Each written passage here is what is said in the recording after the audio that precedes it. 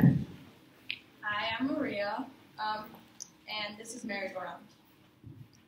First time I caught you, I was nine. The second or third was not the last time. Constant lies all around me. Were you even a part of this family? Nothing about us anymore. You were here, you were there. Couldn't even tell me where. I needed you. She needed you more. Every day a new fight. It's as if we live in a circle. There was no way out. Nothing mattered to you.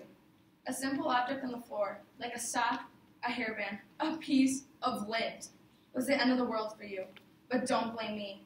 How can we used to be so close, yet we drifted so far apart? You act like I'm just a stranger, but I'm a part of you.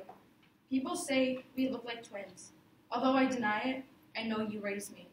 Trying to be trying to be the best you can be. One day holding me when I cry, next not saying anything to me. Hello? Remember me? I am your daughter.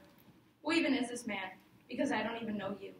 You're not the same person, yet you look the same. My mother, my rock, deserves nothing but the best. So how did she pick you? Countless nights filled with sadness. Nothing but memories fill my head.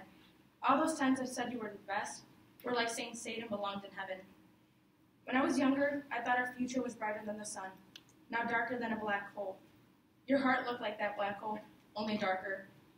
Everyone but us had your attention. I wonder what it'd be like when I leave. Maybe don't, maybe no different than now.